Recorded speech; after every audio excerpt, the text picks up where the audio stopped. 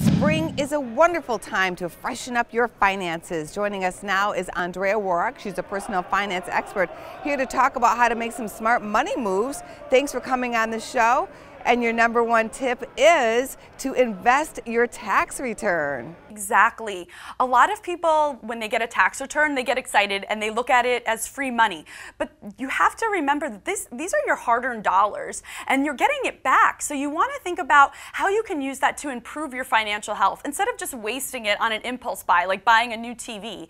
So think about boosting your savings and starting that emergency fund, especially if you have any credit card debt and you're trying to finally pay it off. That emergency fund will help you get ahead. This way, if something happens like a medical emergency, or car accident, you have cash to cover it. Otherwise, um, consider opening up a savings account for your child's education. A 529 college savings plan is a great option. And also you can use that tax refund to pay off your debt or pay down some of that debt. So consider all those options. What do you suggest for people who are carrying a lot of debt? Right you know, when you're carrying credit card debt on one credit card or across multiple credit cards, you're really going to have trouble getting ahead and reaching your other financial goals. So the best thing that you could really do for your financial health is look at taking out a debt consolidation personal loan. This will help you pay off that debt faster, save more money over time. And I also find that it's a lot easier to manage one payment that's due on the same day every month rather than trying to juggle multiple different credit cards that are due on different days and you forget how much you owe and what the interest rates are, that's when it gets really confusing.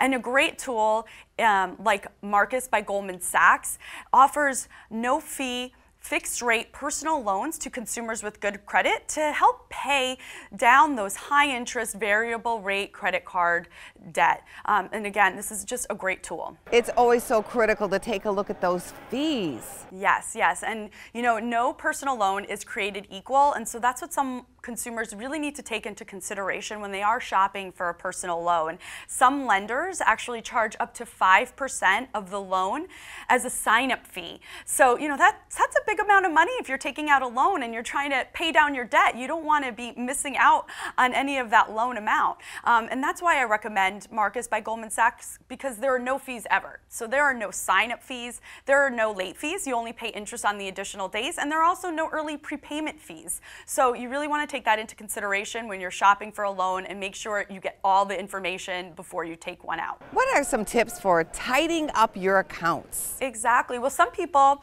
have multiple accounts at many different banking institutions or financial accounts.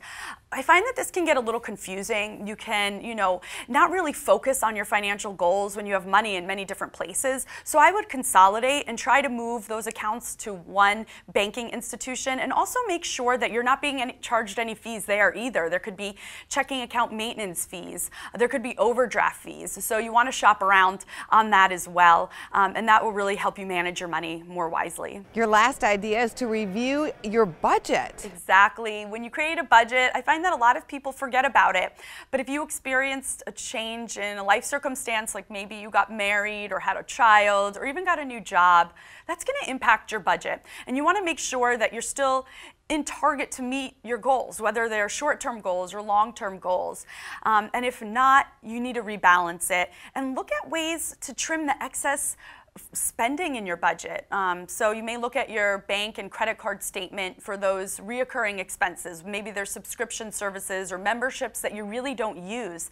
Maybe it's a gym membership you haven't been using or a beauty box that comes every month. If you really don't need them, cancel them. You can also look at reducing your cable plan by cutting those premium movie channels, especially if you're already paying for a video streaming service. So again, there's so many ways to make tweaks to your budget and help you save money. So just spend a little time time. And remember, even if it's just five, ten, thirty dollars, that adds up to a lot when you collectively save. So, so try any measure you can. Andrea, we hope to have you back. Thank you so much. Yes, of course. Thank you so much for having me. Check out businessfirstam.com to find out where to see our entire show. And don't forget to like, follow, and share Business First AM.